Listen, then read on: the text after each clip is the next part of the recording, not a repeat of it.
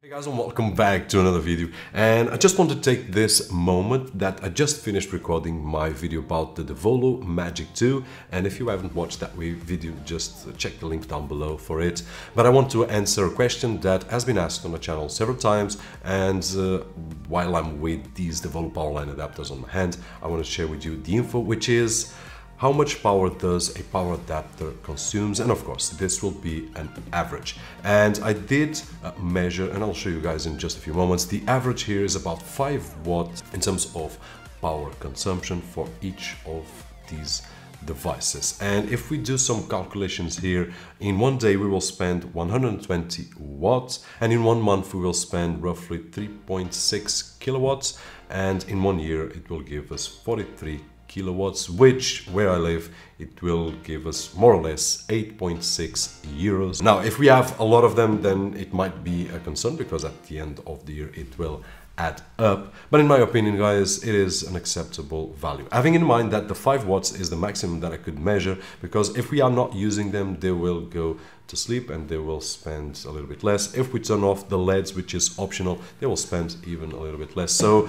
the 5 watts is the maximum that we will spend in terms of usage. Now, one thing that I would also like to share, guys, is that at this moment, uh, I'm also changing a few things here at home in terms of the power consumption and where I can avoid unnecessary uh, power losses and also where I can invest to prevent more losses, if this makes any sense. And before I go a little bit further with that point, I would like to mention here, for example, that one of these uh, will spend 5 watts. And you can't see on this angle, but I've got an old monitor right over here, which I use for my uh, security system cameras. And that monitor alone spends 40 watts. So if we do a quick calculation and if I leave that monitor over and over day and night, which I don't need to leave it day and night, but sometimes I forget it and I leave it, then if I leave it for a few nights, it will consume the equivalent of eight of these devices for almost one year. So guys, the point is that we have to be efficient uh, to save the planet and to save or try to save the planet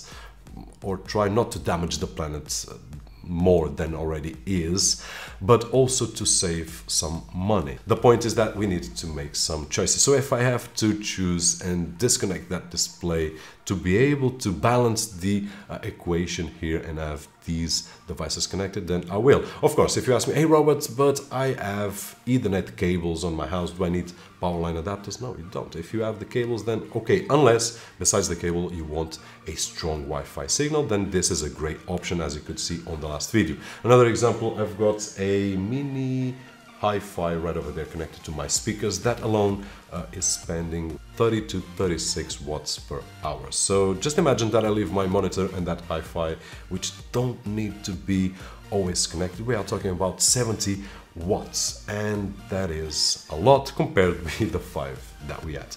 The ideal would be that these would not uh, spend 5 watts and those didn't spend 40 and 30 but the truth is that they all spend and we'll have to balance this. I am trying um, to be able to be more efficient in terms of energy. I just finished uh, installing this past weekend, well I didn't install. A team that knows exactly what they were doing installed one thing on my roof, which is to get hot water from the sun. I'm not sure about in English the technical name, but I will share with you guys a few images and you will be able to uh, see what it is. But it is a solar panel siphon on the top, which will keep the water warm. So I will save, in this particular case, not electricity because I use gas, but I will save gas. And in a few months, I will share with you guys how much I'm saving. And although it's a type of technology that I'm not an expert, far from that, I'm really curious to know how things work and I will share as best as I can all the info that I get to that side of the screen, which is one of the things that I love to do.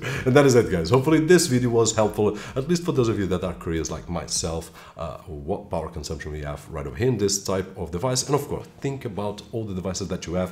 Don't forget, I don't have it right here right now, but there are smart plugs that are very cheap and we can use them to calculate what we are spending. Because once we step on the uh, weight balance and we see how much we weight, we will be concerned, hey, I probably am drinking and eating too much. So I will have to do something. And the same will happen with the power consumption. If we measure that our TV is spending 80 or 100 watts, if we make the calculations, then we will go to the kitchen and probably we are going to shut down the TV for one hour or two hours that we aren't watching.